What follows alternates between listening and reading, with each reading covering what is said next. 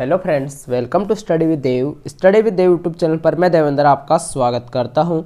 दोस्तों, आज के इस वीडियो में हम बात करेंगे R H S B S C nursing entrance exam जो आपका 25 जनवरी को कंडक्ट हो चुका है। उसकी आंसर की के बारे में हम बात करने वाले हैं।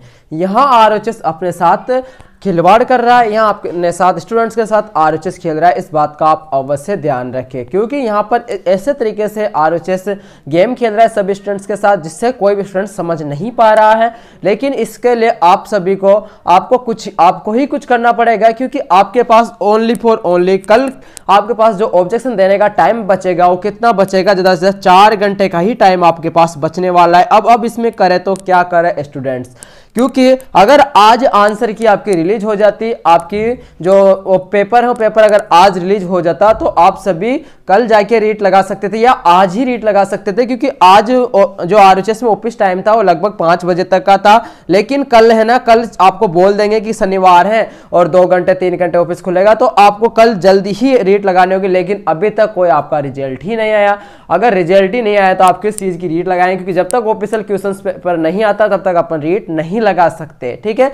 तो दोस्तों आज 28 जनवरी को ही आपका रीट, ये एग्ज़ाम एग्ज़ाम का पेपर आने वाला था, लेकिन अभी तक नहीं आया, इसका क्या रीजन हो सकता है और किस तरीके से आरएचएस आपके साथ खेल रहा है, सारी जानकारी इससे मैं इस वीडियो में आपको देने वाला हूँ। तो दोस्तों, आप सभी को पता होगा R H nursing entrance exam के लिए रीट लगाने के लिए आपको 30 जनवरी तेईस जनवरी शाम दो हज़ार, शाम पाँच बजे तक का आपको टाइम दिया हुआ है। तो दूसरी बात, सबसे बड़ी बात ये होगी कि तीस जनवरी को पूरे दिन आपका आरएचएस खुलेगा नहीं। इसलिए आरएचएस ने एक अच्छा प्लान क्रिएट किया है कि अपने पास कोई भी ऑब्जेक्शन लेकर ना आएगा। तो तीस तारीख को कोई भी नहीं आएगा।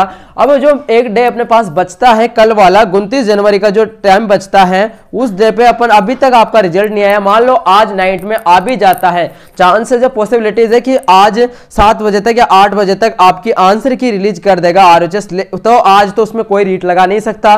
कल कल हो जाएगा, कल आप दस बजे तक ऑफ़िस खुलेगा नहीं। दस बजे के बाद वहाँ पे आर में जो भी रूम नंबर है रूम 202 खुलेगा।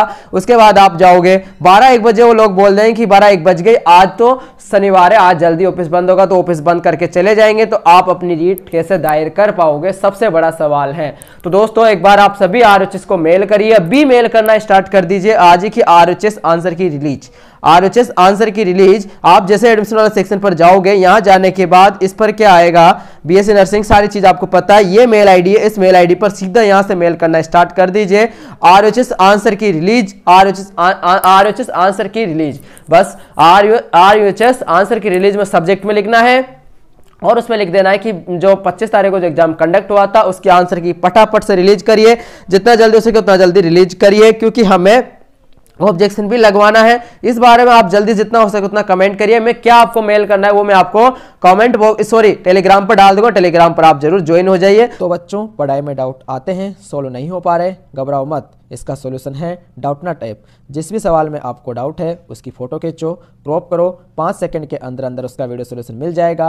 वो भी बिल्कुल फ्री में। यानी अब आप पूछिए, अपने अनलिमिटेड सवाल कहीं भी, कभी भी। अब चाहे आपका सवाल क्लास छठवीं से बारहवीं आई या नीट का हो या फिर सीबीएसई, यूपी, बिहार, राजस्थान और स्टेट बोर्ड का हो कोई भी सब्जेक्ट हो, physics, chemistry, math, biology, science, आपके सभी सवालों के जवाब मिलेंगे सिर्फ़ डाउटनट ऐप पर। साथ ही डाउटनट पर चल रही है नौवीं से बारहवीं आईआईटी नीट के बच्चों के लिए ऑनलाइन क्लासेस, जिसका हिस्सा बनकर देश के सभी राज्यों के बच्चे लिख रहे हैं रैंक फ़र्स्ट। तो आज ही डाउटनट ऐप इंस्टॉल करो और अपने सभी डाउट भगाओ और टॉप रैंक ले आओ। तो दोस्तों, ये छोटा सा वीडियो था। धन्यवाद। Take cares.